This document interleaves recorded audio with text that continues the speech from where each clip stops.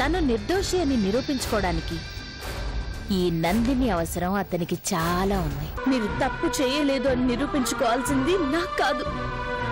మా డాడీకి. మీ అమ్మాయి నీకే బరువైతే నాకు బరువు కాదా అని నన్ను వదిలేసి వెళ్ళిపోయారు. మీ కూతురు కాపురానికి ఏ ఢోకా లేదు. ఎప్పుడైతే మీరు ఇక్కడికి వచ్చారో అప్పుడే మీ ప్రాబ్లం సాల్వ్ అయిపోయింది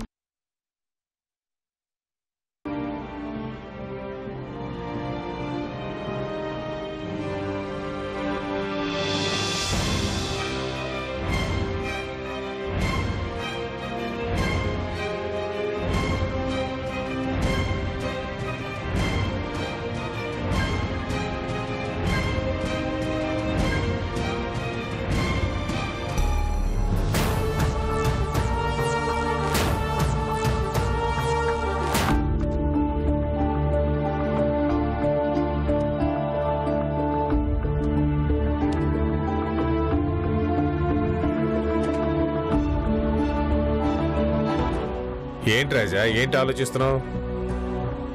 ఈ రోజు మనం బయటికి వెళ్ళి ఆ ల్యాండ్ ఓనర్స్తో మాట్లాడి అగ్రిమెంట్ చేయించుకోవాలి. గుర్తుందా? ఈరోజు వద్దు మూర్తి గారు. తర్వాత ఎప్పుడనేది నేను చెప్తాను. వాళ్ళకి రావడం లేదని ఫోన్ చేసి చెప్పేసేయండి. ఏమైంది రాజా?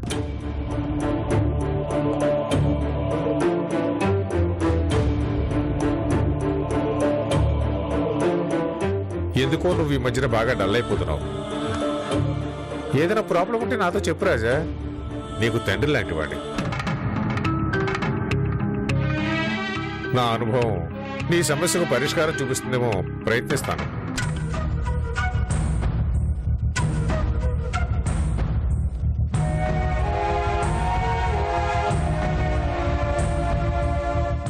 ఏంటి రాజా ఇది? ఓపెన్ చేసి మీరే చూడండి.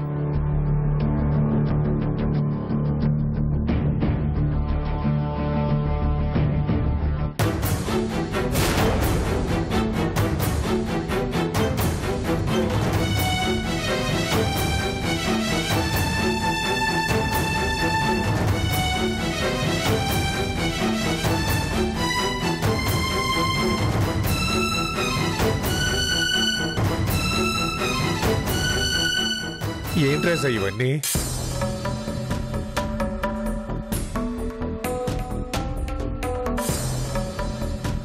ఇవి చూసిన మీరే ఇంత షాక్ అవుతున్నారు. అవి చందు చూడాలని నాకు కొరియర్ చేశారు. ఎవరు? తెలీదు. ఆ ఫోటోలోని అమ్మాయి పేరు నందిని. ఇష్టలేని పెళ్ళి చేస్తుంటే పారిపోయి వచ్చింది. రౌడీలు వెంటపడుతూ ఉంటే నేను సాయం చేసి గెస్ట్ హౌస్లో ఉంచి ఆశ్రయమిచ్చాను అదే అదే నా పాలిట శాపమైంది. ఆ అమ్మాయికి నాకు ఏదో సంబంధం ఉందని మా అంకుల్ నన్ను అనుమానిస్తున్నారు. అది అబద్ధం అని నిరూపించుకుందాం అనుకుంటే ఆ అమ్మాయి గెస్ట్ హౌస్ నుంచి మాయమైంది. ఫోన్ తీయట్లేదు. ఇప్పుడు ఏం చేయాలో అర్థం కావట్లేదండి. చందు ఒక్కతే నన్ను నమ్ముతుంది. ఈ ఫోటోలు చూస్తే నన్ను అపార్థం చేసుకుంటుందేమోనని భయంగా ఉంది.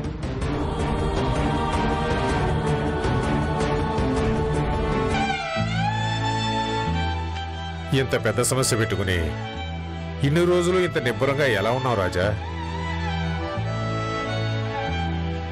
ఆ అమ్మాయి అంత సాయం పొంది కూడా అవసరమైనప్పుడు ఎందుకు మిస్ అయింది?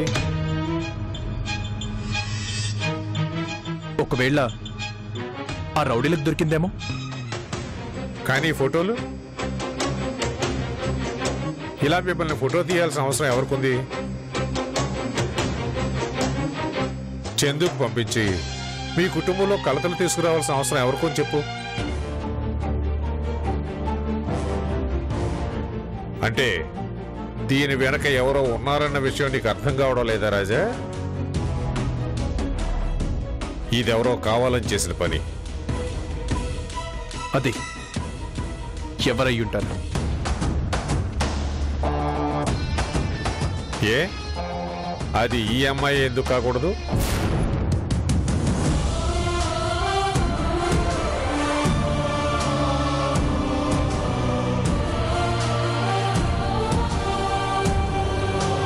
ఆ అవసరం తనకేంటి? అసలు ఆ నందిని ఎవరో కూడా నాకు తెలియదు నా మీద కక్ష పెట్టుకొని చేయాల్సిన అవసరం తనకేంటి? పైగా ఆ అమ్మాయి అలా అనిపించట్లేదు. చూడు రాజా చెట్టు ఇక్కడే ఉంటే దాని మూలాలు ఎక్కడో ఉంటాయి. అలాగే ఓ సమస్య ఓ చోట ఉంటే దానికి పుట్టుకకు కారణం ఎక్కడో ఉంటుంది. అది మనకు అర్థం కాదు. అర్థం అయ్యేలాగా మనం ఉచ్చులో ఇరుక్కుపోతాం.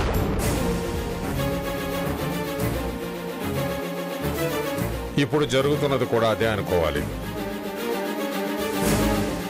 నువ్వు ఇంత రిస్క్ తీసుకుని సాయం చేస్తే ఆ అమ్మాయి అలా మాయం కావడం నాకెందుకో నమ్మబుద్ధి కావడం లేదు.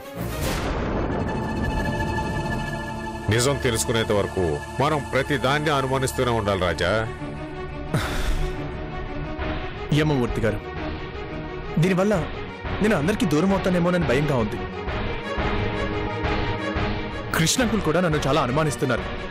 అనుమానం కాదు నాకు నందినికి ఏదో సంబంధం ఉందని కన్ఫర్మ్ చేస్తున్నారు. ఈ విషయాలనే తెలియంత వరకు నేను ఆఫీస్ పనుల మీద అంత ఇంట్రెస్ట్ చూపించలేనండి. కాస్త మీరే చూసుకోండి. అలాగే రాజా. వీలైనంత తొందరగా నువ్వు ఈ సమస్య నుండి బయటపడాలని కోరుకుంటాను. ఇవిగో జాగ్రత్త.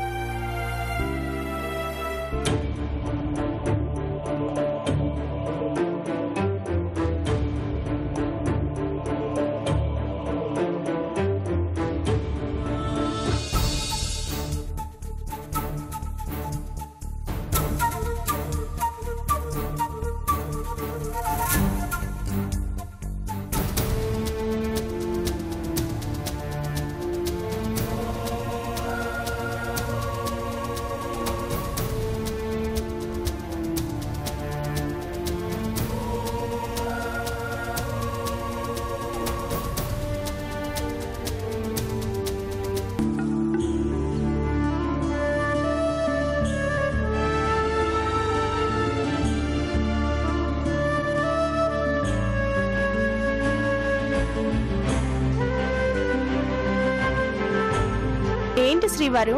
ఏదో ఆలోచనలో పడినట్లున్నారు? ఏం జరిగింది? ఏం లేదు జయంతి. ఏం లేకుండా మీరెందుకు అలా ఉంటారు? చెప్పండి. ఏం ఆలోచిస్తున్నారు? రాజా గురించేనా? అవును. అంటే మీరింకా రాజాని అనుమానిస్తున్నారా? రాజా గురించి నాకెవరో ఫోన్ చేసి చెప్పారు జయంతి. ఆ అమ్మాయితో తిరుగుతున్నాడని ఆ రోజు ఫోన్ చేశారు. మళ్ళీ వేరెవరో ఫోన్ చేసి ఆ ఇంట్లో రాత్రంతా ఉన్నారని చెప్పారు. అలా చెప్పారు అంటే వాళ్ళ వెనక ఎవరో ఫాలో అవుతున్నారని అర్థం కావడం లేదా? ఏమండి అది కావాలని చేసిన పనే అయ్యుండొచ్చు కదా? ఏది కావాలని చేసిన పని జయంతి ఫోన్ అంటే ఎవరో గెట్టిన వాళ్ళు చేసిన పని అనుకుందాం. కానీ రాజా నందినితో కలిసి తిరగడం నిజమేగా? ఆ రోజు హాస్పిటల్ దగ్గర కనిపించాడు. మళ్ళీ ఈ రోజు ఆ ఇంటి దగ్గర కనిపించడం ఏంటి? గట్టిగా అడిగితే ఏదో సినిమాగా చెప్తున్నాడు. రాజా గురించి అంత తెలిసిన వాళ్ళం మనమే తనని అనుమానిస్తే ఎలా? రాజా ఎలాంటి మనిషి మీకు తెలీదా? తెలుసు కాబట్టి సంఘర్షణ జయంతి. అలాంటి మంచి మనిషి ఎందుకు ఇలా తయారయ్యాడు? ఏ విషయంలో అయినా చాలా క్లారిటీగా ఉండే మనిషి. ఎందుకు? ఎందుకని అమ్మాయిని గెస్ట్ హౌస్లో ఉంచిన విషయం దాచాడు? మనం తెలుసుకున్న తర్వాత వేరే కథలు చెప్తుంటే ఎలా నమ్మాలి? ఒక్కోసారి మనకు తెలియకుండానే కొన్ని ప్రాబ్లమ్స్లో ఇరుక్కొని పోతామండి. ఇది జరిగింది అని చెప్పినా నమ్మగలిగే పరిస్థితి ఉండదు. మన ప్రత్యర్థులు అలా ప్లాన్ చేసి ఇరికించేస్తారు. బహుశా ఇది కూడా అలాంటిదే కావచ్చు. ఎందుకంటే రాజాకి చందు అంటే ప్రాణం. తనని కాదని మరో ఆడదాని వలలో పడేంత బలహీనమైన మనిషి కాదు రాజా. ఇది ఎందుకో ఎవరో కావాలని చేసిన ప్లానింగ్ ఒక్కోసారి మనం ఎంత తలలు పగలు కొట్టుకున్నా ఎదుటి వాళ్ళ పథకాలు అస్సలు అర్థం కావండి. అయినా నందిని తీసుకుని వచ్చి నిజం నిరూపిస్తానని అన్నాడు కదా కాస్త ఓపిక పట్టండి.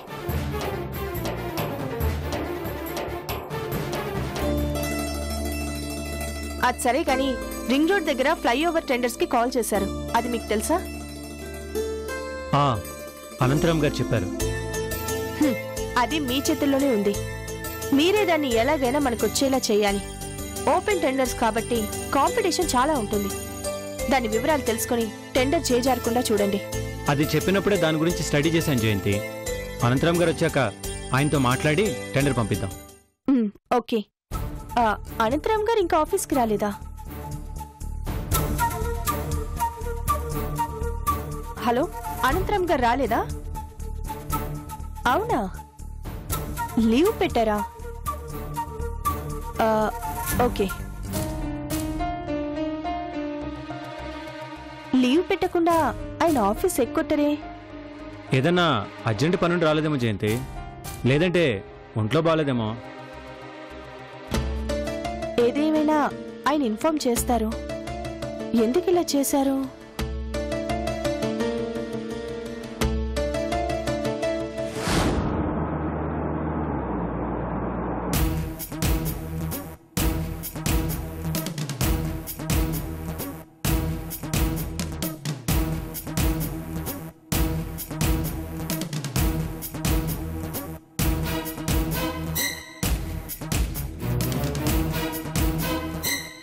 మీరేం టెన్షన్ పడకండి అనంతరామ్ గారు.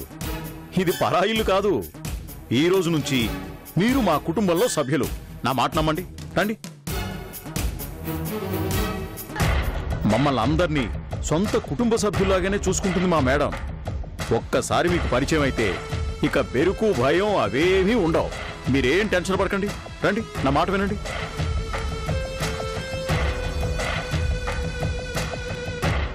చూడండి.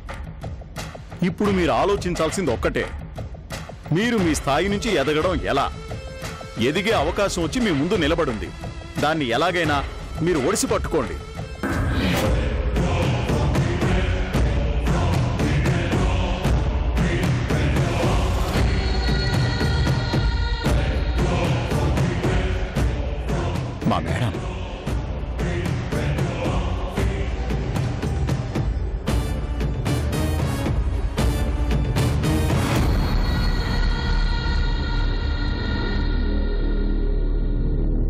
నమస్తే మేడం. నమస్తే మేడం.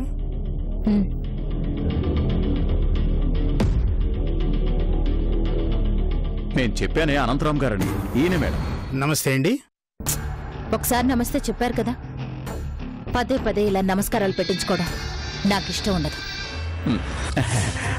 అనంతరామ్ గారు ఈ రోజు నుంచి మనకు సాయం చేయాలని నిర్ణయించుకున్నారు. మీరెంతకాలం నుంచి ఆ ఆఫీస్లో పనిచేస్తున్నారు? ముప్పై ఏళ్ళు దాటింది madam. Oh very good. Fantastic అయితే ఆ కంపెనీ గురించి పునాదుల నుంచి మీకు బాగా తెలుసుండాలే. అవును మేడం. తెలుసు. మీరు మరీ ఫీల్ అవుతున్నట్టున్నారు. ఫ్రీగా ఉండండి. జీవితంలో ఫస్ట్ టైం కదా మేడం? గిల్టీగా ఫీల్ అవుతున్నట్టున్నారు. ఇందులో ఫీల్ అవ్వడానికి ఏం లేదు అనంతరామ్ గారు. బిజినెస్ అంటేనే ఒక గేమ్. ఇక్కడ ఎవరికైనా అవసరాలు అవకాశాలే తప్ప నియమాలు అవసరం లేదు. అదే వ్యాపారంలోని నీతి. కోట్లు లాభం వచ్చినా పనిచేసేవాడికి జీతమే ఇస్తారు. అది యాజమాన్యపు నీతి. మంచి అవకాశం రాగానే నిర్దాక్షిణ్యంగా చేస్తున్న కంపెనీ వదిలేసి వెళతారు. ఇది ఉద్యోగస్తుల నీతి. మీ వల్ల ప్రయోజనం లేదు అని అనుకుంటే ఒక్క నిమిషం కూడా మిమ్మల్ని భరించరు. లాభం లేదు అని అనుకుంటే మీరక్కడ ఉండకూడదు. ఇదంతా ఒక గేమ్. కాదు మేము అలాంటి వాళ్ళం కాదు అని ఎవరైనా అంటే అది వాళ్ళ చాతగానితనమని అర్థం.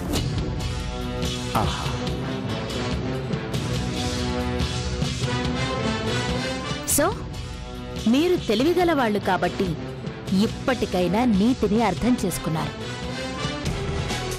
అవసరం మాది అవకాశం మీది.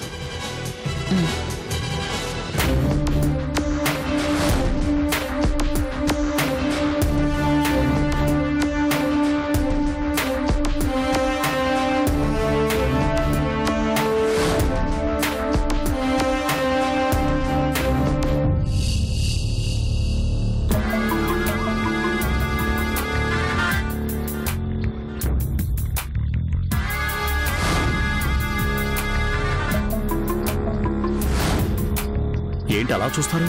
అవి మీకే. అందుకోండి. భయపడాల్సింది ఏమీ లేదు. ఇక్కడ మిమ్మల్ని ఎవ్వరూ మోసం చేయడం లేదు. ఎందుకంటే మీ అవసరం మాకు మా అవసరం మీకు ఈ రోజు నుంచి మొదలవుతుంది. తీసుకోండి.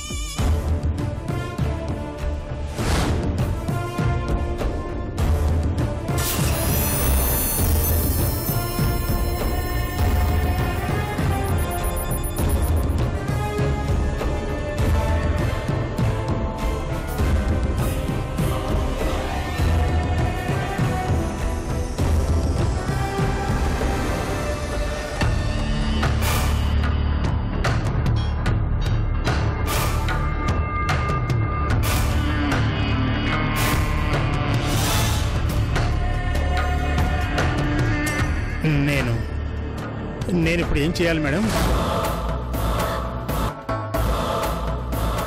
ఏం చెయ్యాలంటే?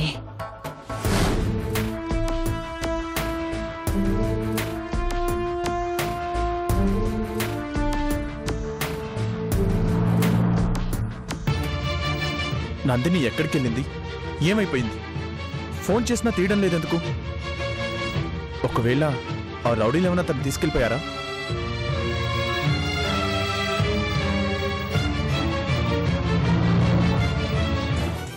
ఇప్పుడు తను కనిపిస్తే కానీ నిజం నిరూపించుకునే అవకాశం లేదు. తను ఎక్కడ ఉందో తెలీదు. ఎలా తెలుసుకోవాలి? ఎలా నేను నిర్దోషిని అని నిరూపించుకోవాలి? ఇంకెవరున్నారు? తన గురించి తెలిసిన వాళ్ళు ఇంకెవరున్నారు? ఎలా ప్రూవ్ చేసుకోవాలి? నాకు ఉన్న ఆధారాలేంటి? నందిని మిస్ అయింది. నందిని గురించి తెలిసిన వాళ్ళు ఇంకెవరున్నారు? తనని ఇంకొన్ని రోజులు జాగ్రత్తగా చూసుకోండి. ఈలోగా మెడిసిన్స్తో తనని నేను క్యూర్ చేస్తాను. ఎస్ డాక్టర్ మాధురి ఆవిడకి అన్నీ తెలుసు. ఆవిడే వచ్చి నిజం చెప్తే సరిపోతుంది. నందిని రాకపోయినా పర్లేదు. వెంటనే ఆవిడ దగ్గరికి వెళ్ళాలి.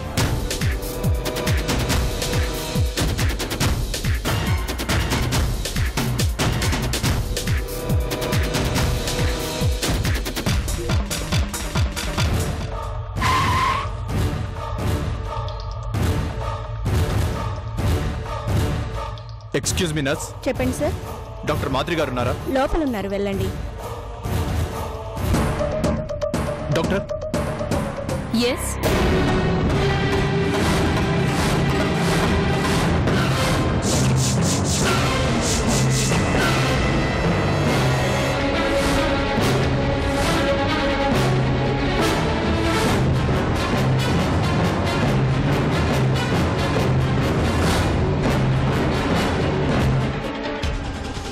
మీరు?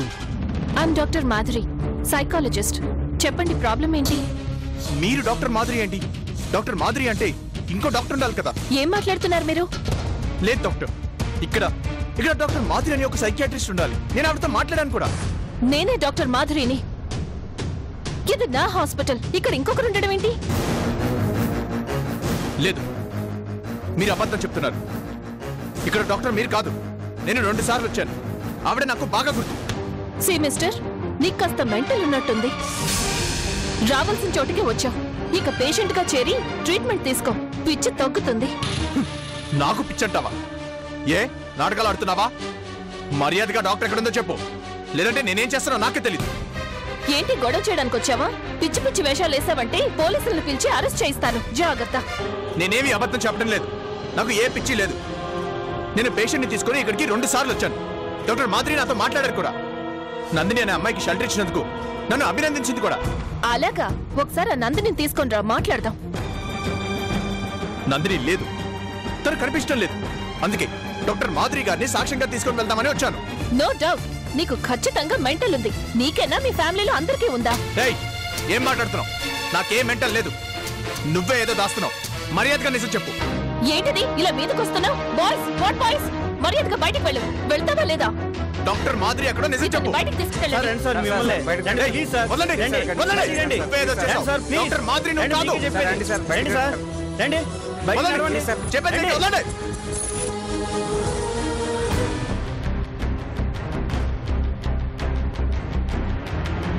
అసలేంటిది ఇదే హాస్పిటల్ ఇదే బోర్డ్ ఇదే పేరు మనిషిలా మారిపోతుంది ఎందుకు అబద్ధం చెప్తుంది ఆ నందిని ఏమైంది ఆ నందినికి డాక్టర్కి ఏంటి సంబంధం?